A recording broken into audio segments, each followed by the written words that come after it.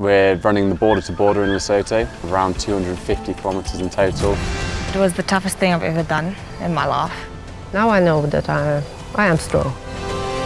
It goes down in history. I've never done anything like this.